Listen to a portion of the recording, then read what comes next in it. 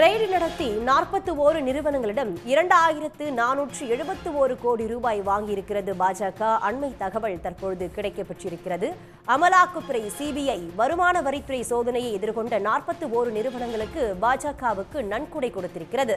சோதனை நடந்த மூன்று மாதத்தில் ரெய்டு நடத்திய நிறுவனங்கள் மூலம் பாஜகவுக்கு நூற்றி இருபத்தி ஓரு கோடி ரூபாய் நன்கொடை சென்றுள்ளதாகவும் தகவல்கள் கிடைக்கின்றன. அமலாக்கத்துறை ரெய்ட் நடத்திய பிறகு ஆயிரத்து அறுநூற்று தொன்னூற்றி எட்டு கோடியை சம்பந்தப்பட்ட நிறுவனங்கள் பாஜகவுக்கு நன்கொடை கொடுத்திருப்பதாகவும் தற்பொழுது தகவல் கிடைத்திருக்கிறது. ரெய்டுக்கு பிறகு பாஜகவுக்கு பல கோடி ரூபாய் நன்கொடை கொடுத்திருப்பது தற்பொழுது அம்பலமாகி இருக்கிறது. அண்மை செய்தியாக தற்பொழுது திரையில் பார்த்து கொண்டிருக்கிறோம். விசாரணை அமைப்புகள் மூலம் நிறுவனங்களை மிரட்டி பாஜக நன்கொடை வசூலிப்பதாகவும் எதிர்க்கட்சிகள் தொடர்ச்சியாக குற்றம் சாட்டி வரும் நிலையில் தற்பொழுது அது அம்பலமாகி இருக்கிறது. அமலாக்குத்துறை வருமான வரித்துறை ரெய்டில் சிக்கிய நாற்பத்தி ஓரு நிறுவனங்களிடம் இருந்து இரண்டாயிரத்து நானூற்று எழுபத்து ஓரு கோடி ரூபாய் தற்பொழுது பாஜக வாங்கியிருப்பதாகவும் தகவல்கள் வெளியாகி இருக்கின்றன. சோதனை நடந்த மூன்று மாதத்தில் ரெய்ட் நடத்திய நிறுவனங்கள் மூலம் பாஜகவுக்கு நூற்றி இருபத்தி ஓரு கோடி ரூபாய் நன்கொடை சென்றிருக்கிறது.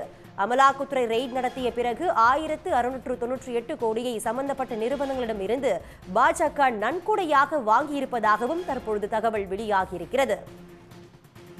பாஜக பெற்ற ஆயிரத்து எழுநூற்று ஐம்பத்து ஒரு கோடி தேர்தல் பத்திர நன்கொடைக்கு ஈடாக ஒன்றிய அரசு மூன்று புள்ளி ஏழு லட்சம் கோடி திட்டங்களை கொடுத்திருக்கிறது. விசாரணை அமைப்புகள் மூலம் நிறுவனங்களை மிரட்டி பாஜக நன்கொடை வசூலிப்பதாக எதிர்க்கட்சிகள் தொடர்ச்சியாக குற்றம் சாட்டி வரும் நிலையில் தற்பொழுது அதனுடைய வெளிச்சத்திற்கு வந்திருக்கிறது.